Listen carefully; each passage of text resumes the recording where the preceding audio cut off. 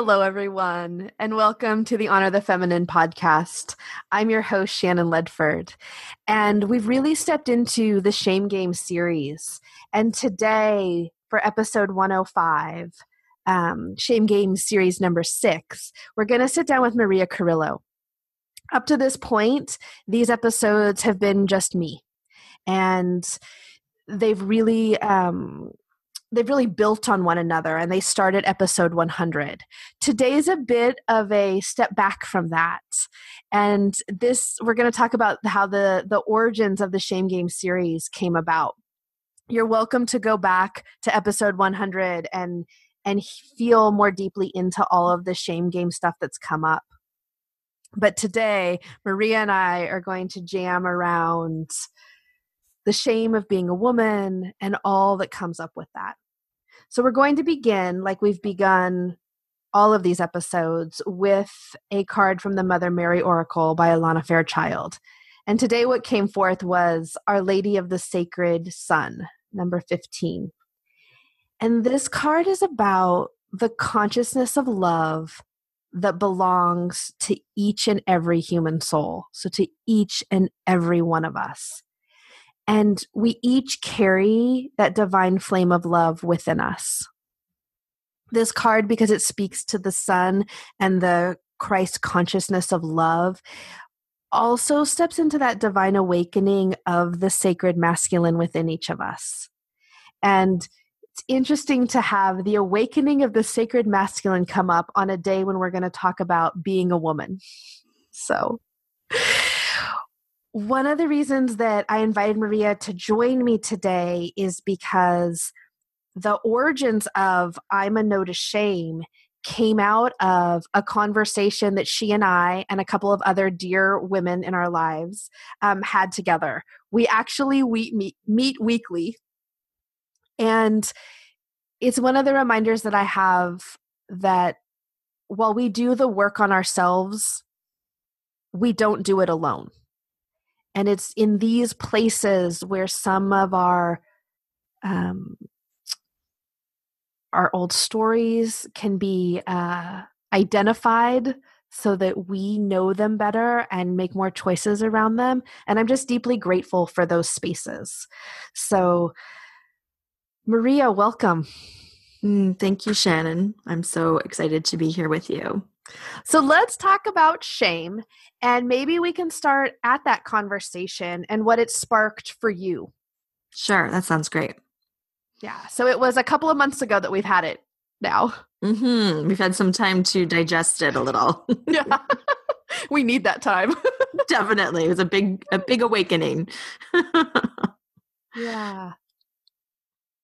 So we were having a lovely conversation around carrying the shame of others and how shame is something that we don't come into this world with right? We come into this world right from that like the card said like we're this divine spark of love and we embody that love when we come through.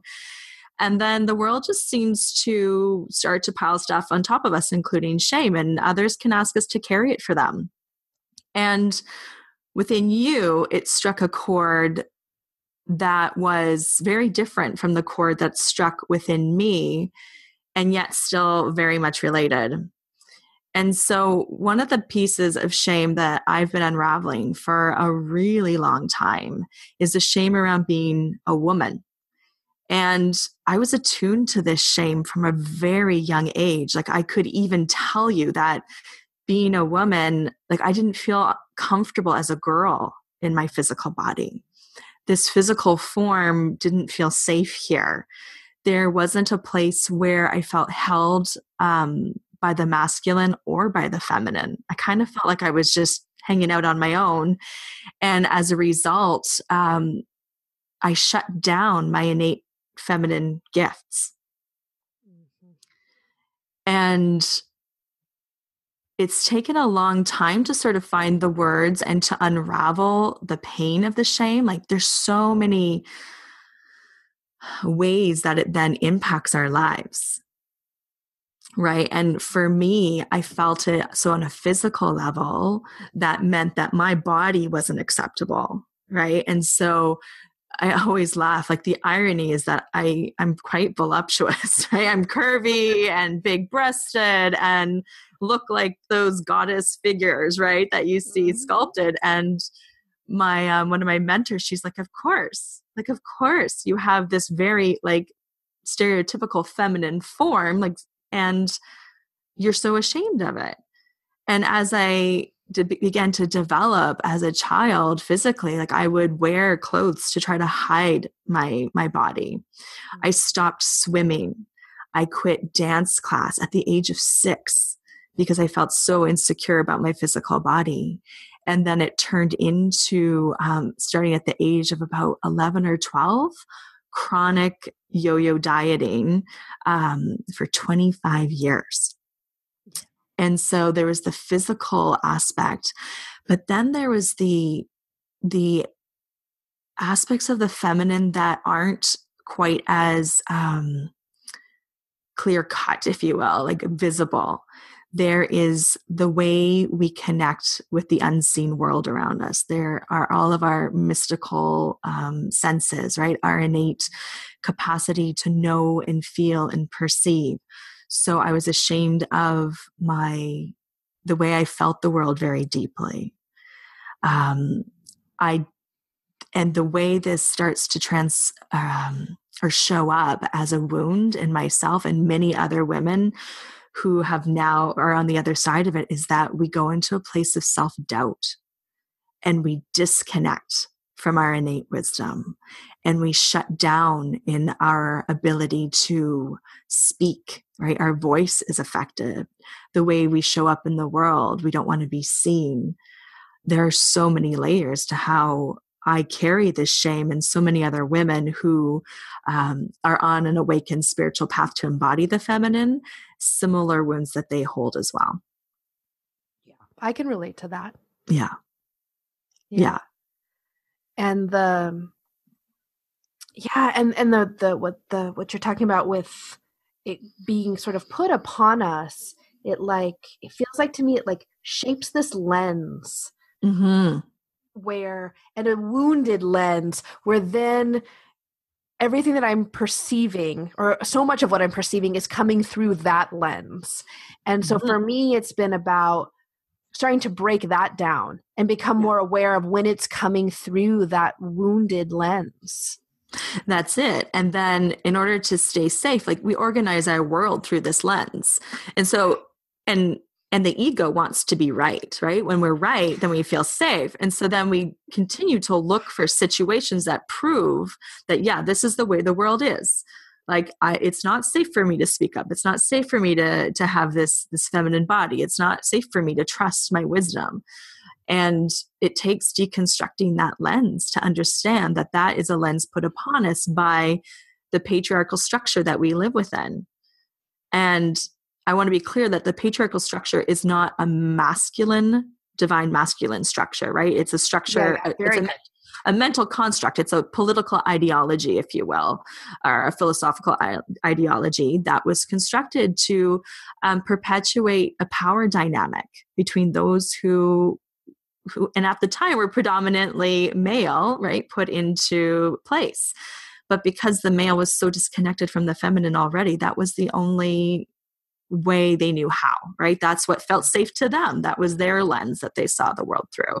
And so now we're in a place of deconstructing um, this lens within ourself. And I always like to say we're the microcosm within the macrocosm. Yeah. And so as we dis- deconstruct this lens within ourselves, that lends to the deconstruction of this lens for the the entire world right? We're starting to break down those patriarchal structures that hold us locked into shame. Like that's how what better way to disempower somebody than by making them feel ashamed of who they are? Yeah. That's so yeah. true.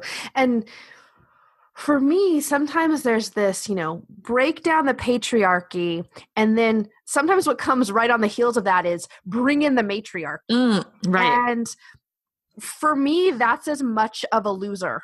Yes. honest. Um, because it's not, it's about the wounded lens versus the divine, the love lens. Mm-hmm. The the lens of the divine. And the divine has both the divine feminine and the divine masculine doing a dance together within right. each of us, within the world. That's where we find the love that we were that the that the oracle card alluded to spoke actually yes. very overtly about that we allude to actually exactly yeah truth in our laps right there it's, that's yeah. it no and this is it like we're in a really unique time and place in like human memory like in our dna i don't know that we've ever lived fully in balance with the masculine and feminine before right? So it is this it's a really a steep learning curve right now like things are moving fast as we're dismantling the patriarchy within um, which i like to refer to in my work and we're embodying a completely new consciousness. And it is based on this notion of divine love but we've never fully experienced that. Like what does christ consciousness even mean right? And when we say christ consciousness that is not necessarily jesus christ on his own as a as a male figure right? Christed consciousness is divine union between the masculine and the feminine. So the person that is being left out of this story is Mary Magdalene, his counterpoint, right? She's the divine feminine figurehead, if you will, of this consciousness, this movement of consciousness. And she's been such a huge um, force in my own unraveling of this lens, of my own healing around shame. And so I just would really love to presence her in this conversation. And I know you're down with that, Shannon. I am. I'm so down with that. And I just I just want to be uh, I want to be really clear about the Mother Mary Oracle cards aren't mm-hmm. that that isn't Mary Magdalene. Right. Right? Like they're they're they're separate um archetypal energies, they're separate forces. Yes. It, they activate different parts.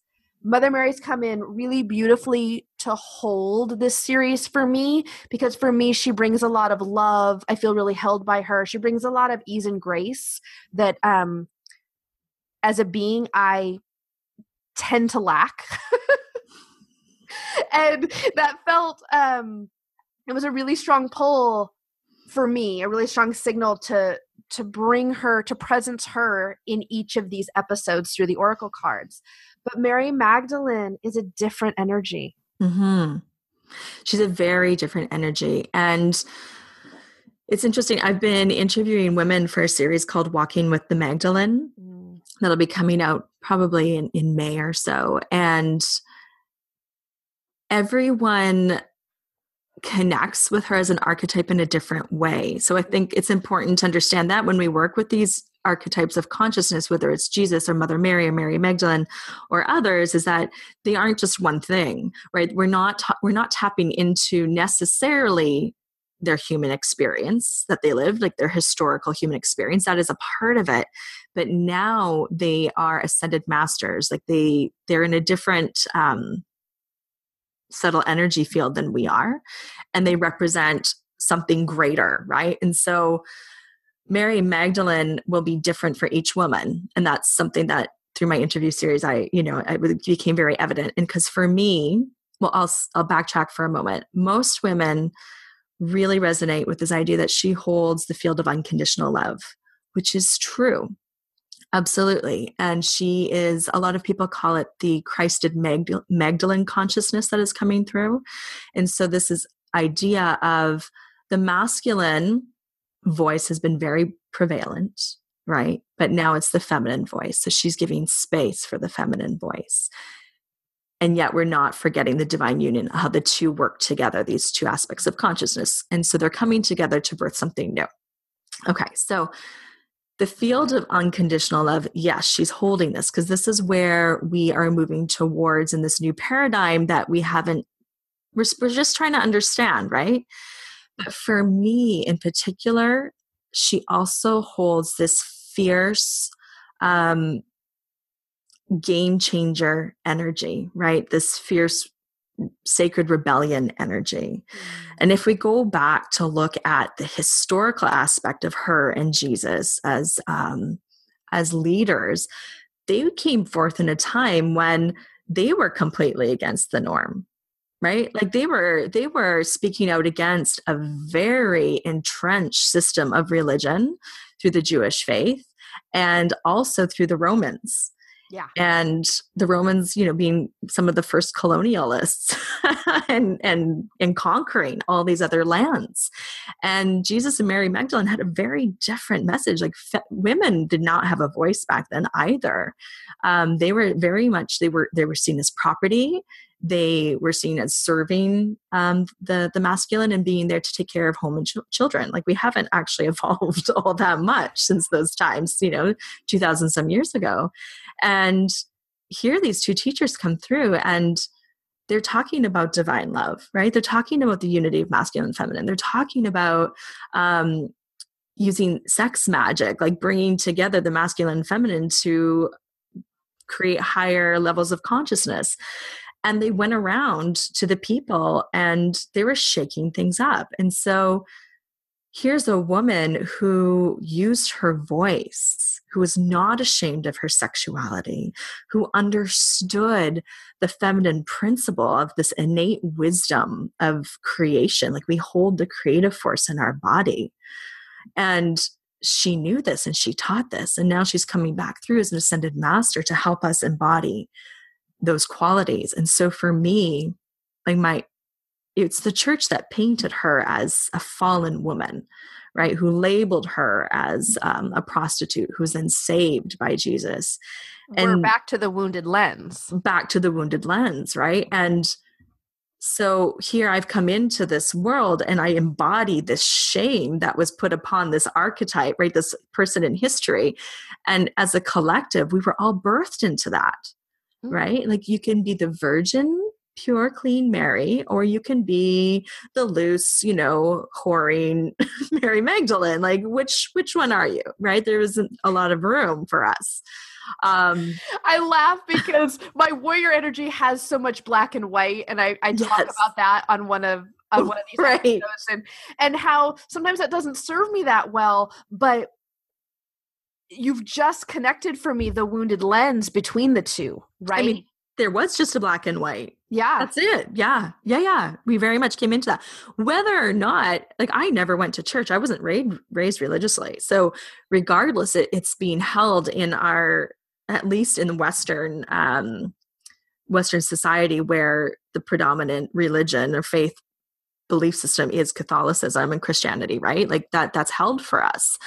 Um, and so for me to unwind it, as I started to learn the story of Mary Magdalene, the the threads of truth of her story, it helped me to start to embody a different type of archetype that was not given to us, you know, 2000 some years ago. Where is this embodied woman who who like connects with the curves of her body her sensuality her her potency to bring forth life right? The woman who knows and feels and and moves with the cycles of the earth uh, brings forth creation. Like where is she? And that's who's waking up for us. And sh- and mary magdalene is holding that frequency for us now. Mm-hmm. does that make sense? That yeah. No no yeah. yeah that makes sense. It it makes me think back to when you were saying, you know, it's been a long time since the divine masculine and the divine feminine danced in this divine love. I mean, it's been thousands and thousands and thousands of years. Yeah. But it did at one point. Mm-hmm. Yeah. And that actually lives in our cells too. As well. That's right. Yeah. It, they yeah. both do. All all of these years of more wounded and, and the ancestors all of that lives in ourselves too it's part of what it feels like we're derubbling mm-hmm. and um can you talk a little bit because here's a curiosity i'm having right now so the archetypal energies right mm-hmm. and um, getting attuned to them and that making shifts how has the how has it then moved into your actual human being self does that make mm-hmm. sense yeah. because i'm finding right now i have a bit of a disconnect between all these beautiful things that have happened energetically for me but having space in my body with all of the rubble that we were just that I was just speaking to from the ancestors and all of this mm-hmm. lineage. Yeah. Like, how do we make sense of this? Like, how do we work with it? How does it impact us? And it's a really good question. And for me, it started with reading books about Mary Magdalene, fiction books, but based you know we pull fiction comes through inspiration and inspiration comes from the divine so there's threads of truth in it right fiction's my favorite yeah like it's amazing how people can t- tap into that and as i start to read the stories and come up with a different concept a way of being um, that gives me courage.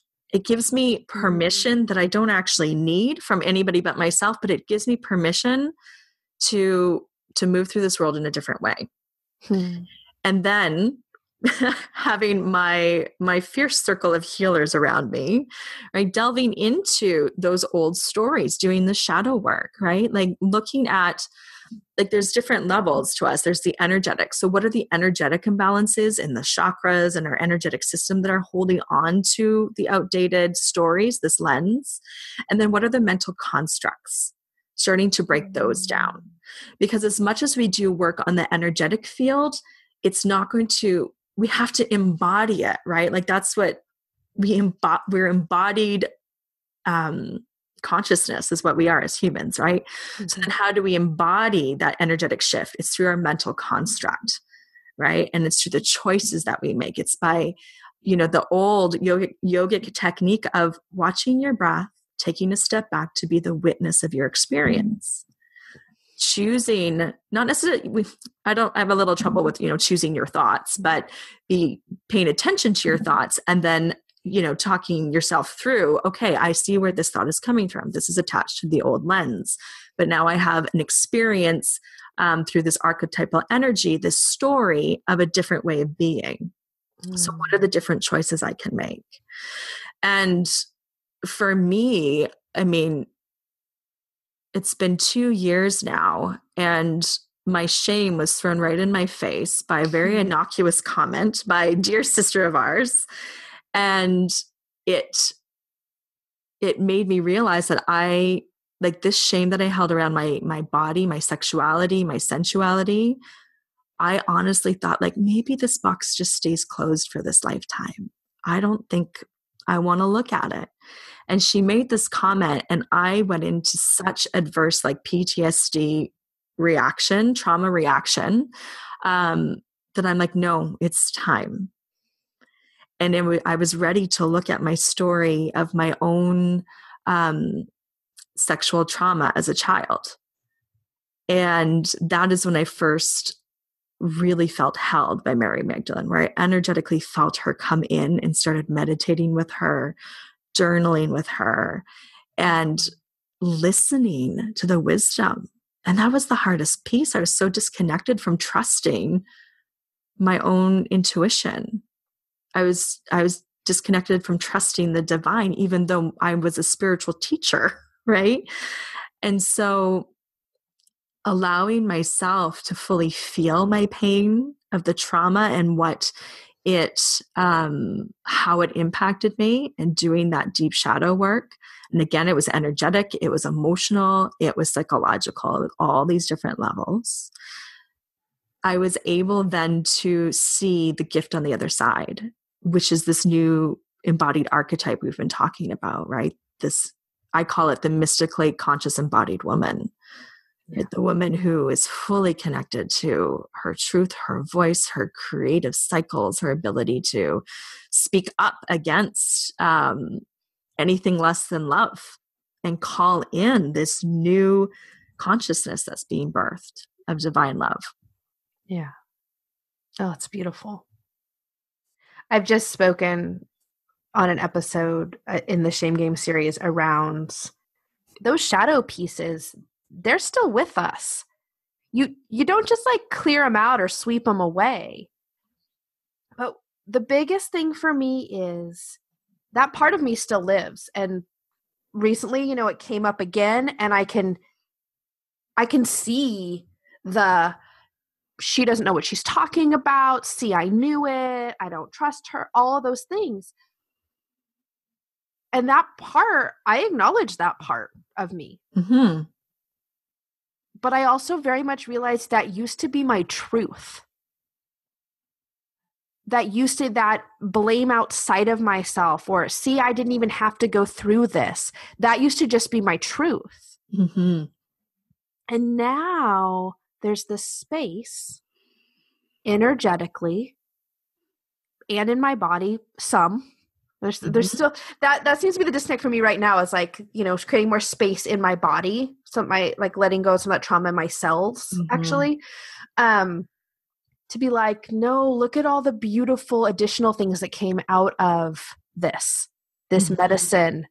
Um but I have to acknowledge, like, it's not as much as I can see all of, you know, not carrying my mom's story forward and walking her path, how deeply held I am um, and supported by the women and the men and women in my life. That's all gorgeous.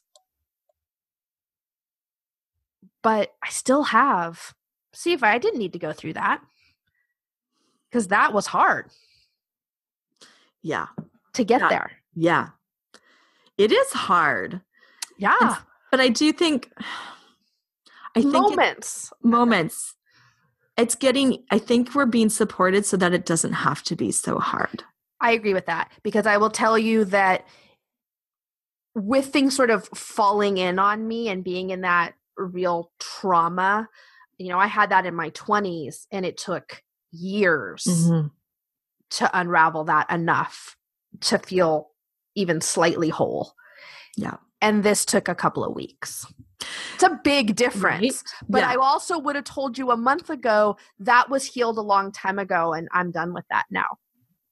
Right. And I I just did a post about this the other day. It's you know, there's no quick fix. No. no one can tell you do A, B, and C and you'll get to Z. I'm Canadian, Z, Z. um, it's not linear. Our healing path isn't linear. I talk about it all the time, but then when it spirals around, I have the linear thoughts of, right. but I've dealt with I've it. done this. Maybe all this that I think I've done, I didn't do. yeah, or I did it wrong. Right? like I didn't do it right. I didn't fix it. And we're not here to fix ourselves. We're here to unwind the layers of shit that have been put on us or that we've carried through intergenerationally or through past lives to to transmute to alchemize to heal right? And it's it's a dance and it's an ebb and flow and it's a spiral right? It's and we revisit these things time and again. And the initial opening the box of shame was related to the masculine right? This masculine that placed shame upon me this masculine transgression. It took me two years to work through that. And the first year was like, I was like, what have I done? Like, I my walked, life was not walked, that bad. I walked that with you. you did. Like, it was awful. But I knew I had to go because I knew what was on the other side. I had done easier, I had stripped away easier shadows, easier stories. So I knew what was waiting for me on the other side and I was so beautifully supported on all levels energetically physically you know through my family through my friends and through through the energetic realms my guides and mary magdalene.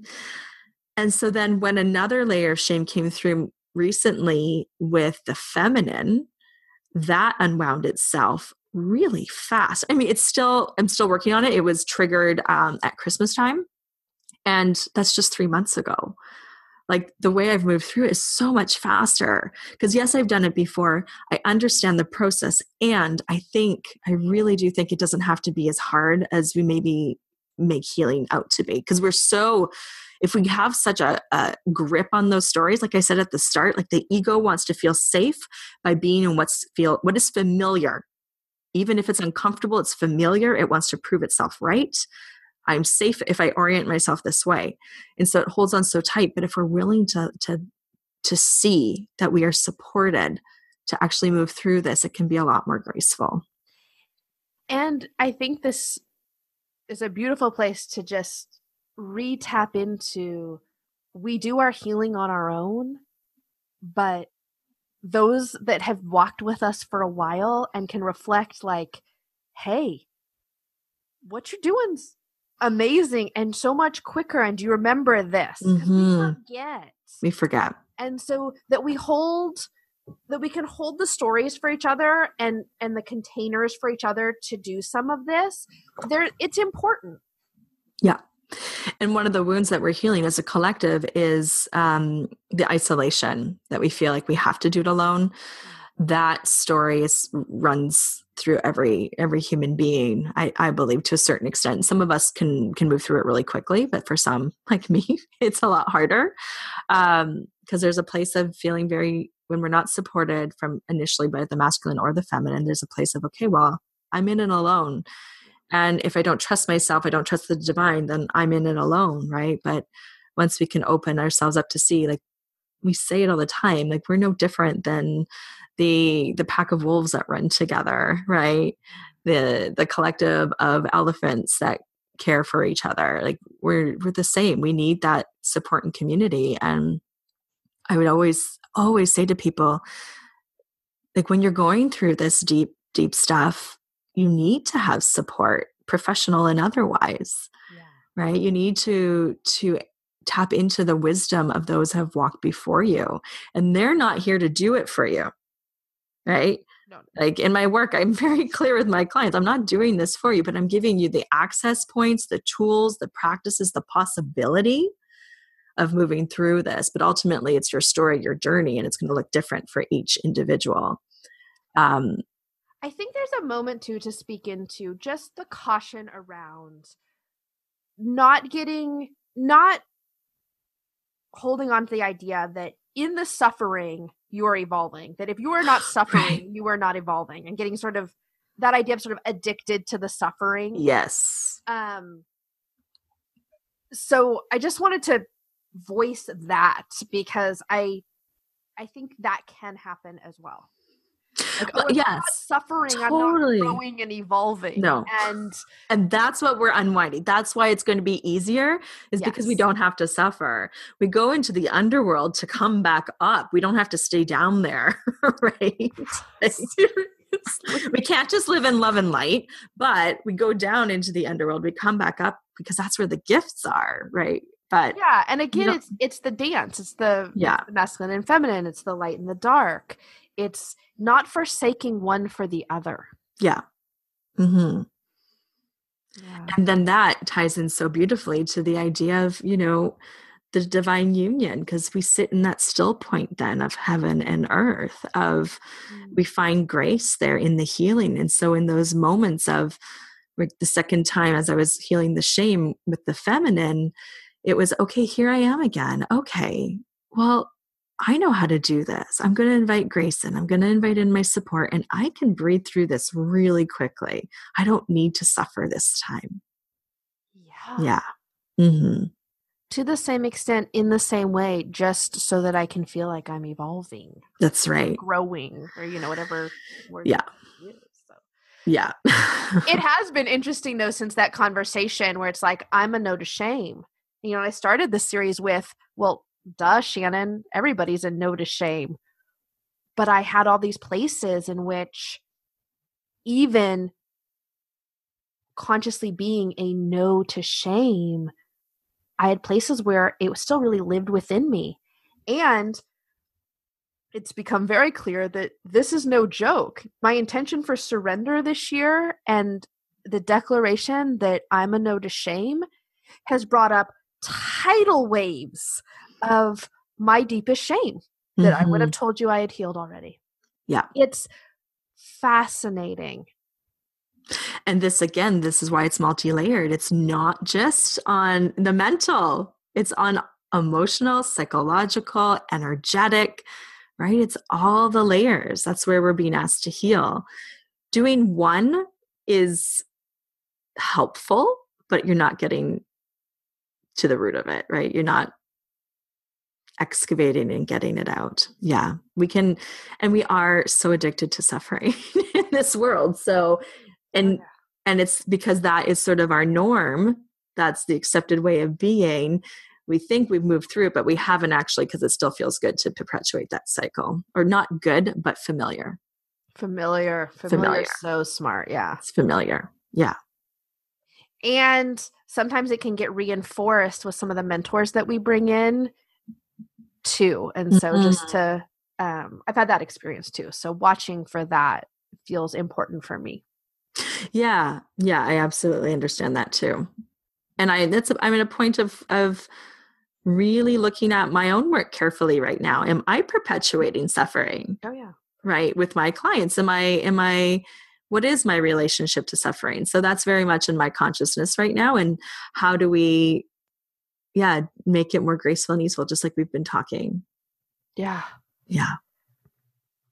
And you're right, there's no recipe. It's not three cups of compassion and you know two tablespoons no. of you know all all wrapped in a package of divine love exactly you got it we're we're constantly um yeah we're constantly in flux and and for me it's about part of the thing around the shame is now putting a light on it so that it mm-hmm. doesn't live within me in the same way and that's yeah. what the series has been about yeah it's a beautiful powerful series you know because we do all carry this shame like it's and it's going to show up in different ways for different people um but i really feel that the threads there are so many common threads to it right so as we listen to other people's stories it helps them it's a that's an access point too because then we can reflect on how does that show up in my life no it's not quite the same but okay here's my story and yeah i do actually carry this and so then getting curious about okay how do i release this now yeah. Yeah, that that universal that that tidal wave of shame around I'm broken. I knew I was mm-hmm. broken. And yes. because I'm broken, I'm not lovable. Yeah. Here's the divine comedy of that is we all think we're broken in some way. Yeah. And are spending a lot of energy hiding that away when the reality for me has been as I've spoken into it more it creates connection with other yeah. people. Yeah. Isn't that fascinating? Yeah exactly. The and thing then, i think that's going to make me unlovable actually connects you. creates more connection for yeah. love because people are like oh i feel that way too. Yeah. and then you give them permission to actually release it. Oh i don't have to. And then ultimately the only thing that is broken is our link to our divinity to to divine love to our acceptance of us as whole spiritual beings. That's what's broken not us. Yeah. Yeah and it, it feels universal as i've begun to talk about it. Yeah. Yeah absolutely yeah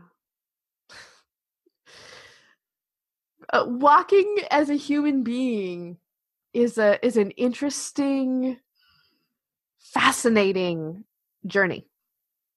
Oh, it's such a fascinating journey. I'm like just the day when I leave my physical form will be so enlightened. It'll be like, oh, I get it.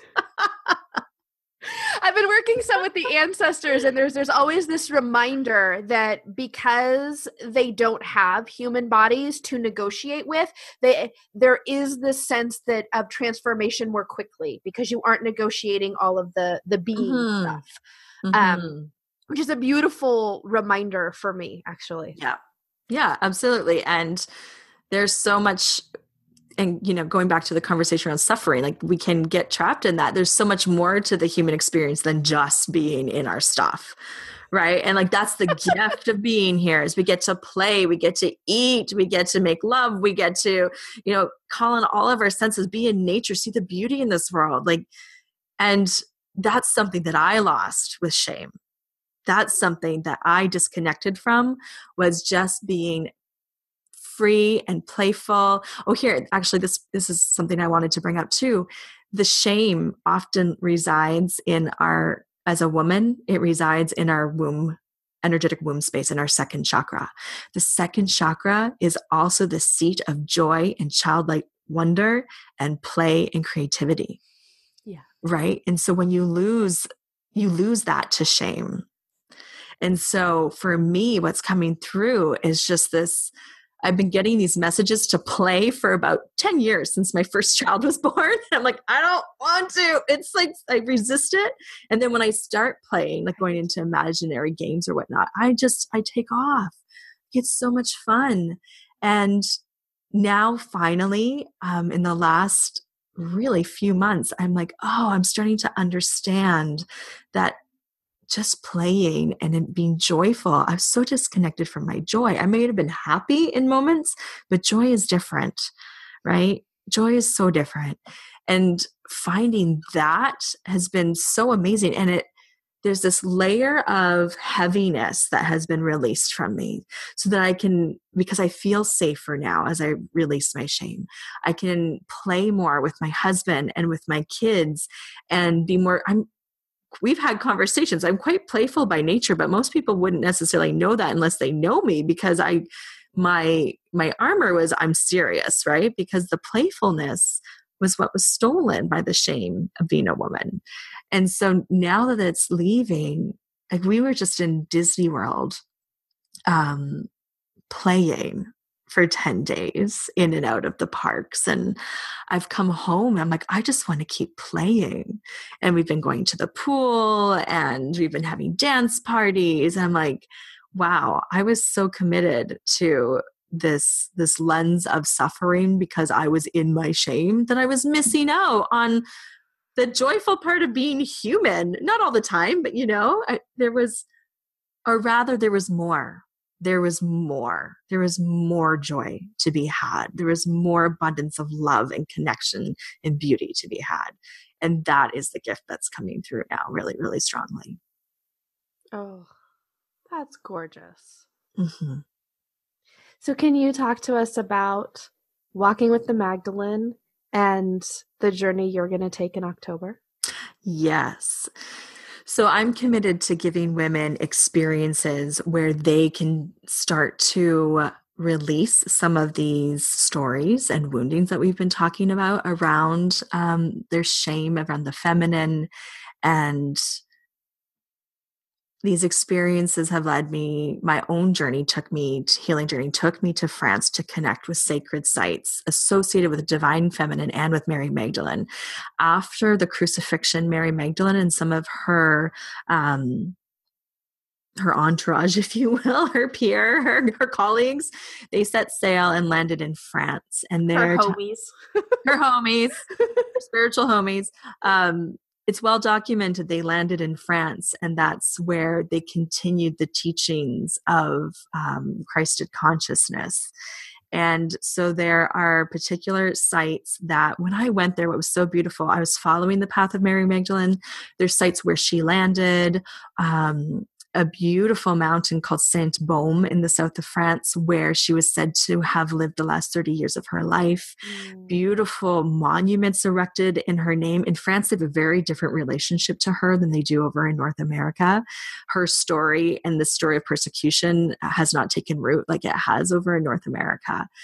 And so there's all these beautiful places associated with her. And as I went to these places, I realized that the roots were deeper than her right? That this consciousness, this Christed consciousness, is transcends Mary Magdalene and Jesus. They were just bringing it through at that time as they are in this time again.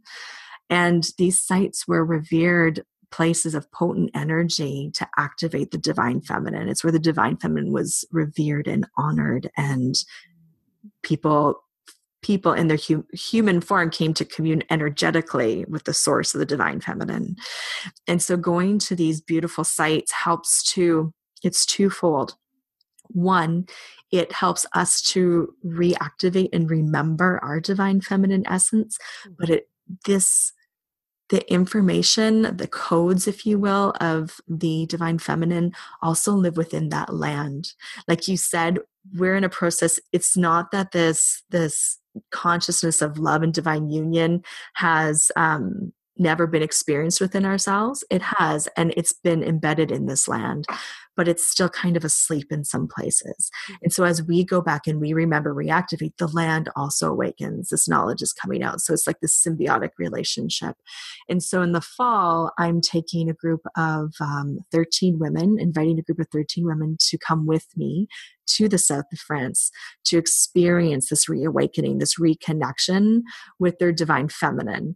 Whether you've been walking this path for a long time or not is irrelevant because there's always deeper layers. Um, you'll Amen have to that. yeah, right. and there's always layers to release and the land there is so beautiful it's so mystical it's so ancient and the history is so rich um, the Druids walked there prior to and did all their energetic work there as well. So the retreat's going to be we're presencing beauty as medicine. When we are held in beauty, our nervous system can relax, and women need to feel fully safe to open right to receive on all levels and so we'll be staying in beautiful um, old heritage buildings and sites, beautiful land, having beautiful catered meals, and have a personal tour guide to take us to some of these sites as we go into mystical ritual healing places and attunements and activations. Um, and it's all being held in the frequency of Mary Magdalene as our ascended our ascended teacher and guide on this trip. Oh, beautiful. And so where do we go to learn more about that? Uh, my website, mariakurylo.com, will share the link with you. Um, and the retreat's called Awaken the Magdalene. Mm-hmm. And so all the information is there, and the early bird, car- early bird pricing cart opens April 18th. So we will have the link on the show notes for this episode over at honorthefeminine.com. So it's really easy to find. And Maria, thank you for today. Thank you for, um, you know, thank you not just for joining me today, but for being in constant conversation together around just important stuff. It's mm-hmm. um, it feels really beautiful and really important to me. We're not alone. yeah. I'm so happy to be walking this path with you. Hello again, everyone it was so amazing to be with Maria and to share her with you today. It was beautiful for me because it was in a space with her and a couple of other gorgeous women that we really started to dive into shame and call out like that feels like shame and so that's where the shame game was born. And Maria, Maria's work is incredible.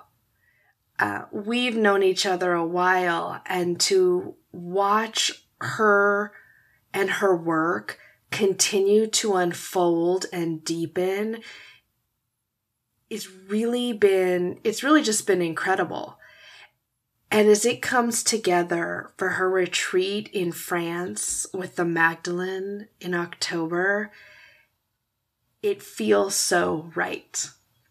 And so if that lights you up at all, if you've got that little inkling of, I should check that out, please do. So it's over at mariakurylo.com. And you can also go, there'll be links on the show notes at honorthefeminine.com in the show notes for this episode.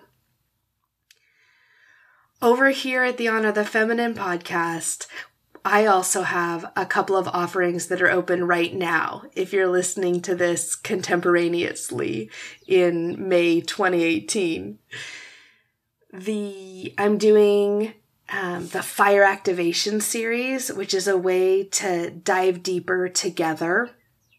And it's three months of one to one, so six one to ones where we meet and create clarity and action steps to move forward for a project that you've wanted to do, for a life transition where there may be some resistance. And I'm really excited about this work. And so the fire activation series will begin May 23rd. I'm also doing a second section of the Down and Dirty podcast course. So if your dream is to podcast, this group program begins May 27th. And it's more than just the technical and the workflows and the systems for podcasting. It's really a place to start to untangle how you want to step in and share your voice and express your truth. All right, everyone. Have a beautiful day.